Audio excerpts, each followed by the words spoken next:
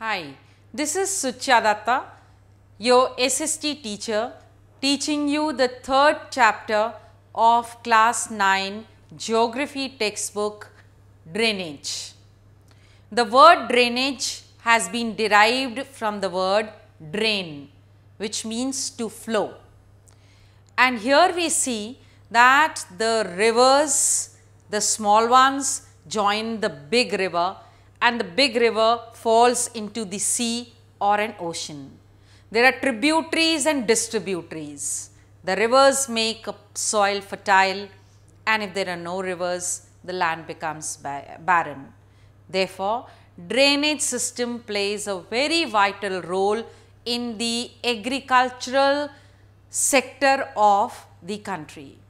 But before we start with the chapter drainage, it is very necessary for us to understand the new words, terms and concept which will be used in the chapter. The first is watershed. The watershed is a higher ground and it separates two adjoining river basin. So, once again what is it? It is something which is little elevated and it is separating two adjoining river basins that is watershed. Next is dendritic drainage. See we are going to see the different kind of drainage system and the first one is the dendritic drainage.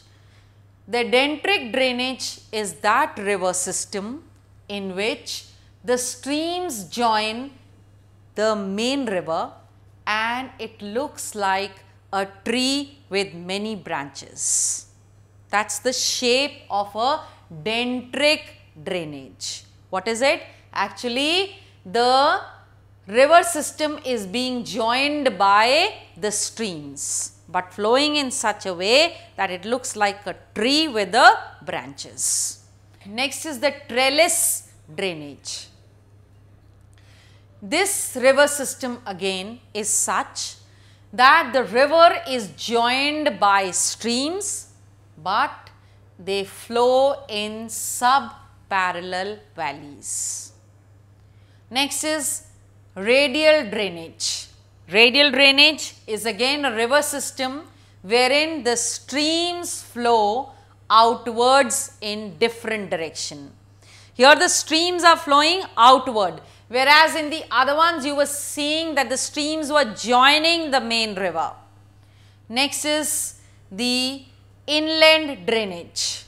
Inland drainage, it is in fact that river system in which the river does not have sufficient water to reach the sea or an ocean and it flows into a lake. Next is the gorge. But before I start with that, remember children that there are four kind of drainage systems that we have and they are the dendritic, tree-like, trellis which flows in sub-parallel valleys, radial wherein the streams flow outward and inland drainage where the river does not have much water. Gorge. Gorge is in fact a deep river valley which has steep walls. Next is braided rivers. Braided river is that river which carries lot of silt to form the silt islands. So, very important because it is going to make the soil very fertile. So, these are the very interesting terms which you should be aware before we start the chapter. The next term is perennial river. Perennial rivers are very important for the country because they flow throughout the year. They have sufficient plenty water and they are snow fed rivers.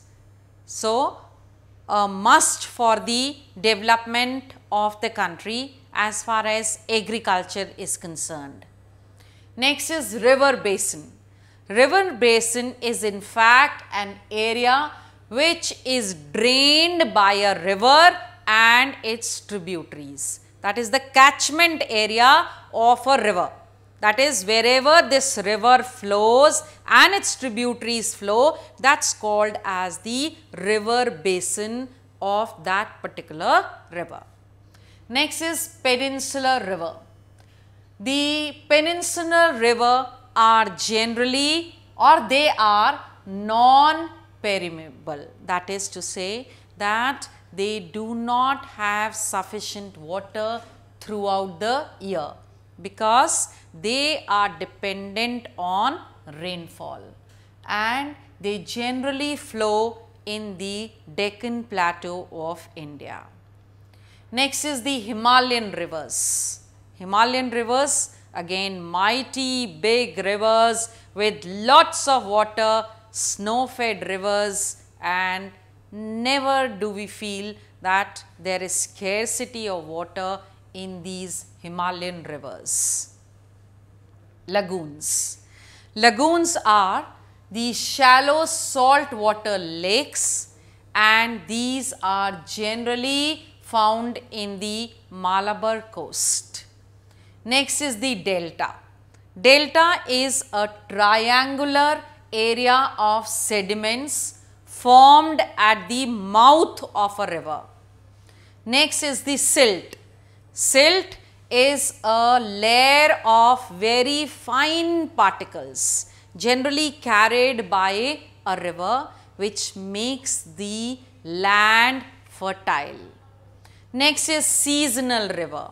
As the name suggests, they generally flow in a particular season that is the rainy season and most of the peninsular rivers are the seasonal rivers as they depend upon the rainfall and whenever there is high rainfall there is lots of water in the seasonal rivers and when there is no rainfall they get actually dried up. That is about the seasonal rivers. Now, those were the new terms and concept which you needed to know before I start with the chapter and here in the next clipping, we'll start with the chapter called drainage.